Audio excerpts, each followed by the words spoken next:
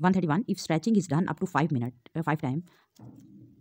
with duration of stretch thirty second five time है और duration of stretch जो है थर्टी सेकंड है द लेंथ गेन में अप टू कितनी होगी? ए फाइव मिनट में बी टेन मिनट में सी हाफ़ आर में डी वन आर में। तो हमारे पास करेक्ट ऑप्शन है ए यानी फाइव मिनट में।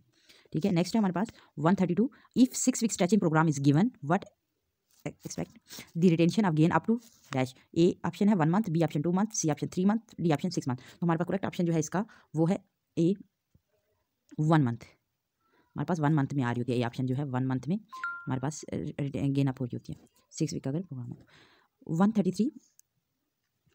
for elderly individual the duration of stretch should be a same age young individual more than young B है more than young people C है less than young people D है should not be given stretching तो इसके लिए हम क्या करते हैं? उनको देते हैं मोर देन यंग पीपल तो इसका ऑप्शन बी जो है वो है करेक्ट ठीक है? एल्डरली इंडिविजुअल को, को हम ड्यूरेशन ऑफ़ स्ट्रेच देते हैं मोर देन यंग पीपल यानी ऑप्शन बी जो है करेक्ट है देन है one three four the double support phase present at the dash phase of gait cycle gait cycle के कौन से फ़ेज़ में जो है डबल स्पोर्ट है? तो वो हमारे पास यहाँ पे ऑप्शन दिए हुए हैं। बिगनिंग ऑफ़ स्टांस बी है एंड ऑफ़ स्टांस सी है beginning in end of stance D है मिड स्टांस तो हमारे पास जो ऑप्शन नंबर जो है सी जो है वो करेक्ट है beginning and end of stance जो सी जो है वो करेक्ट है। देन है one thirty five centre of gravity displace to the highest level during dash phase of gait कौन से फ़ेज़ ऑफ़ गेट में सेंटर ऑफ़ ग्रेविटी डिस्प्लेस होता है हाई लेवल ठीक है ऑप्शन ए है फुट फ्लैट बी है मिड स्टांस सी है डबल स्पोर्ट डी है मिड स्वंग तो उसके लिए हमारे पास ऑप्शन जो है बी जो है वो करेक्ट है एंड ऑफ़ स्टॉन्स उस one thirty five the centre of gravity displace to the highest level during dash phase of gait A है फ्लैट फुट बी है मिड स्टांस सी है डबल स्पोर्ट डी है mid swing तो इसका जो correct option है वो B है, यानी मिड मिड स्टांस है, यानी बी ऑप्शन जो है वो करेक्ट है। देन हमारे पास one thirty six the horizontal displacement of G O C centre of gravity during the normal human locomotion is about कितनी कितनी सेंटीमीटर होगी वो? ए ऑप्शन है टू सेंटीमीटर बी ऑप्शन है फाइव सेंटीमीटर सी ऑप्शन है seven centimetre D option है ten centimetre तो हमारे पास इसका जवाब है बी ऑप्शन यानी five centimetre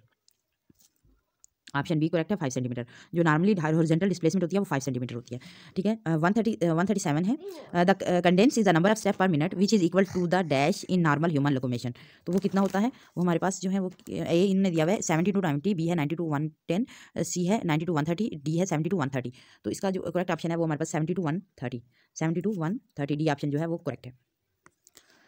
देन है one thirty eight during normal human locomotion knee Joy knee movement is coordinated with the ankle movement to minimise the upward displacement of the centre of gravity the relationship between the knee and ankle movement are dash तो उसमें movement में क्या होगा? आपकी नी फ्लैगियन option A जो है इन्हें दिया हुआ है।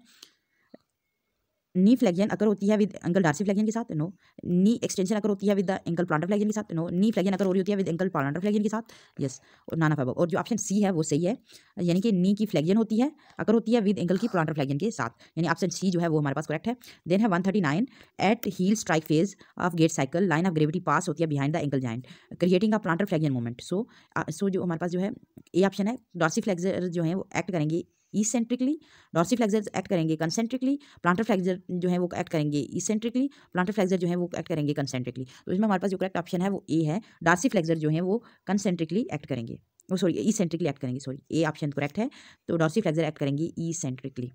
ठीक है? ये ऑप्शन इसमें करेक्ट है। वन फोर्टी जो है, उसमें हम देख लेते हैं, आ mid stance phase of gait cycle line of gravity जो है, वो पास होती है behind the hip joint creating the flexion movement अगर वीक ग्लूटस मैक्सिमस है तो give rise to the dash gait तो वो कौन सी गेट होगी ग्लूटस मैक्सिमस की वजह से? तो हमारे पास ऑप्शन दिए हुए hand to to thigh gait B है anterior trunk bending gait C है पोस्टीरियर लर्जिंग गेट डी है हिप हाइकिंग गेट तो हमारे पास फोर्टी का ऑप्शन जो है, उसका जो है, वो है सी ऑप्शन करेक्ट है पोस्टीरियर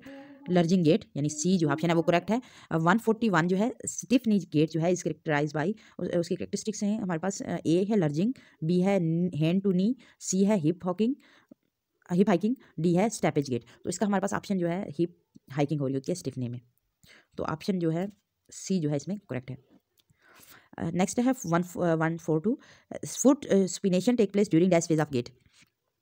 तो हमारे पास इसका ऑप्शन है heel strike to full flat A option B है foot flat to mid stance C है mid stance to heel up D है heel up to toe up तो हमारे पास इसका जो करेक्ट ऑप्शन है वो है डी है heel up to toe up तो डी ऑप्शन जो है उसमें क्या हो रही होती है? स्पिनेशन हो रही होती है. डी ऑप्शन करेक्ट है. देन हमारे पास one forty three dash muscle is known as decelerator in normal human locomotion normal human locomotion में डिसलेटर कौन सा मसल है हमारे पास? तो वो हमारे पास जो है एलियोसास है गैस्ट्रोसोलियस है हैमस्ट्रिंग है क्वाड्रिसेप्स तो हमारे पास सी जो है हैमस्ट्रिंग जो है डिसलेटर्स हैं हैमस्ट्रिंग मसल सी जो करेक्ट है. ठीक है? Hamstring muscles. Then have 144 uh, running is distinguish from walking by cadence जो है more than one thirty one thirty per minute होगी. Absence of double support phase होगा आल ऑफ़ अबव तो इसका ऑप्शन होगा आल ऑफ़ अबव दोनों क्योंकि double sport नहीं होती और मोर देन वन थर्टी जो मिनट जो होता है कैडेंस होता है. यानी कि सी ऑप्शन जो है इसका करेक्ट है. ठीक है? अच्छा आगे है हमारे पास one forty five the person with the hip abductor weakness walk with the lateral trunk bending toward the affected side during the stance phase which is dash इसमें ऑप्शन ए दिया हुआ improve the efficiency of the hip abductors B है shift the weight line toward the involved side C है give rise appropriate give rise to apparent weight loss D है provide momentum provides momentum तो इसमें one इसमें जो correct option है, ये क्या कर रहा होता है शिफ्ट कर रहा होता है the weight line toward the involved side तो ऑप्शन जो इसका है बी जो है करेक्ट है शिफ्ट कर रहा होता है वेट लाइन को toward the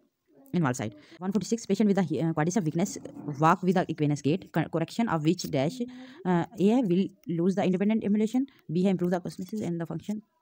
C है स्ट्रेंथ दी क्वाडिसेप डी है नाना फेबो तो ये ऑप्शन करेक्ट है विल लूज द इससे क्या होगा? Will lose the independent ambulation one forty seven dash manipulation is use to obtain the sensory stimulation A option है stroking effleurage kneading and friction तो इसमें ए ऑप्शन जो है, वो करेक्ट है स्ट्रोकिंग स्ट्रोकिंग जो है, ये हमारे पास करेक्ट ऑप्शन है. देन है one forty eight which of the following is not not a टेम्पोटेट में टेम्पोट में टेक्निक्स ए है clapping beating pounding stage stage stage उसमें हमारे पास जो ऑप्शन है वो है वेस्टेज जो है वो, जो है not a tapotement techniques then है one forty nine the moment required for hacking manipulation is dash तो उसमें हमारे पास जो है forearm supination or pronation B है रिस्ट फ्लेक्जन एक्सटेंशन सी है एल्बो फ्लेक्जन एक्सटेंशन डी है अबव तो इसका ए ऑप्शन जो है वो करेक्ट है. मूवमेंट जो रिक्वायर्ड होती है फॉर हैकिंग मैनिपुलेशन के लिए forearm supination and pronation one fifty है a pillow is place under the abdomen in prone lying position में for the massage of the back to dash dash A option है flatten the back B option है raise the pelvic to facilitate the drainage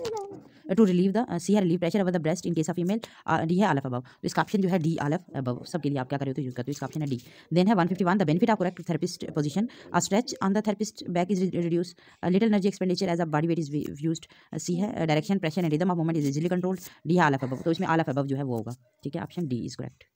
ठीक है?